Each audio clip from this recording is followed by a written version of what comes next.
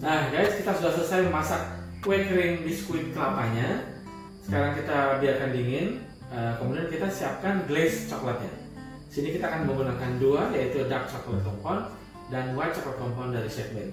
Nah, ini yang akan nanti uh, kita siapkan bahan-bahannya, uh, yaitu dark chocolate dan white chocolate. Nanti ini kita cincang. Kemudian kita akan menggunakan metode oven berry maka kita akan letakkan nanti di atas simmering water ya. Nah, yang perlu kita siapkan juga adalah uh, whisk kemudian dua small pumping bag. Untuk nanti kita kombinasi antara yang dip dengan yang diberikan warna kemudian spatula. Dan itu kita akan mulai untuk membuat coklat glaze nya yuk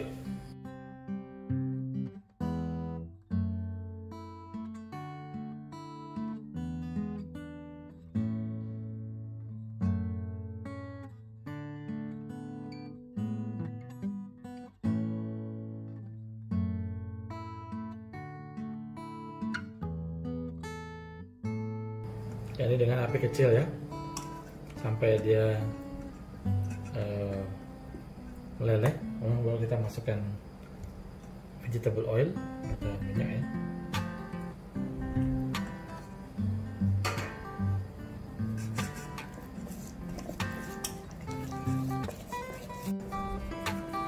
Ya ini sampai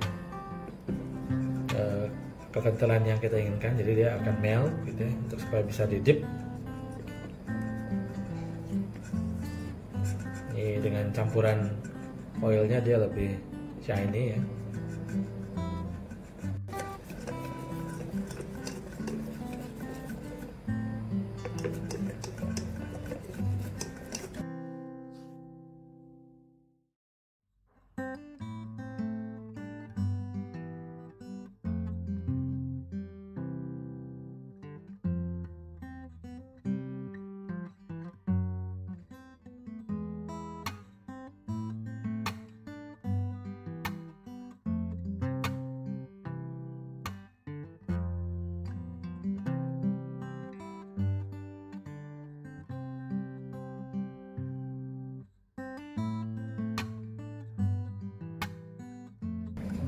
ini kita pastikan bahwa tidak ada uh, lamp atau yang kasar-kasarnya ya. Jadi biar halus. Ini kita tambahkan minyak lagi sampai dia konsistensinya menjadi lembut. Oke ini sudah mau jadi halus lembut dan shiny. Tidak ada grindel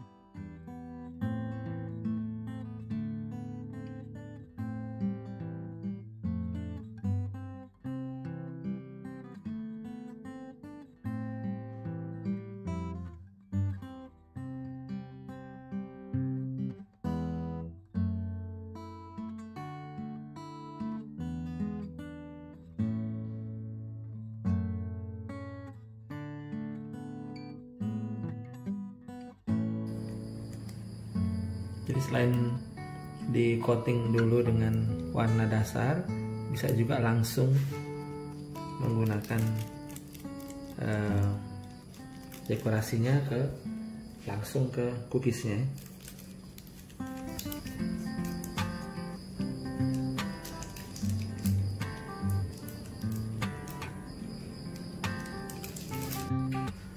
Nah guys, sudah jadi uh, coklat cookiesnya kita atau cookies kue kelapanya kita yang di coating dengan menggunakan dark chocolate compoundnya Chefmade juga white chocolate Chefmade. Nah, hanya dengan sedikit penambahan tapi bisa merubah penampilan dan juga bisa menambah nilai jual cookies tersebut. Nah, pilih di mana? Silakan. Mau yang dicampur, mau dengan yang dark coklat saja atau white coklat saja atau hanya menggunakan uh, strips ya coklat. Nah selain daripada dark coklat ataupun white coklat, kita pun bisa menggunakan dengan flavor-flavor yang lain seperti misalnya strawberry coklatnya sherbet dan juga dengan menggunakan green tea. Jadi bisa digunakan sebagai coating, tapi bukan sebagai strips ya, karena kalau strips, kalau strawberry coklatnya ada uh, strawberry chipsnya, ada buah drynya, jadi lebih enak kalau dia menjadi coatingnya saja. Oke, okay?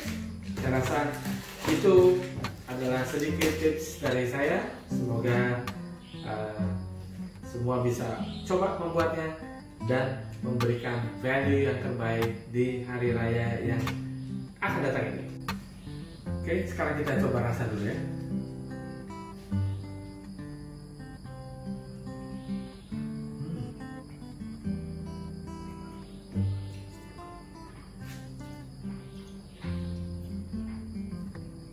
Mantap enak sekali.